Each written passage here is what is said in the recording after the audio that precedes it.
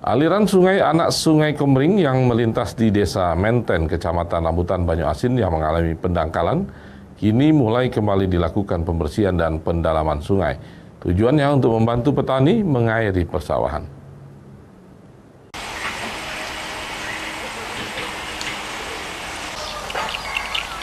Sungai Menten yang merupakan anak sungai Kemring yang melintas di desa Menten ke Banyuasin telah dilakukan revitalisasi melalui dana bantuan dari Kementerian PU Pusat.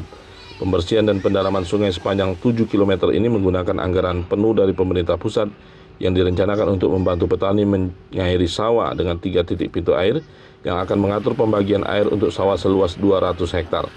Selain mengairi persawahan, sungai ini juga nantinya akan dimanfaatkan sebagai alur lalu lintas bagi masyarakat, baik melalui jalur air maupun jalan darat di area pinggir sungai yang telah ditimbun agar dapat dilalui nantinya setelah proses pengerasan, sehingga masyarakat tidak lagi mengalami kesulitan untuk pergi ke sawah maupun mendistribusikan hasil panennya. Pengerjaan panjang sekitar 7 kilo, primer, sekunder. Ini sudah berjalan kurang lebih 15 hari. Estimasi paling lama 90 hari ini uh, di samping kita buat irigasi, ini langsung untuk jalan usaha tani. Jadi petani tidak perlu lagi susah-susah ke sawah naik kendaraan. Dari Banyuasin, Ahmad Saipul Ainus melaporkan.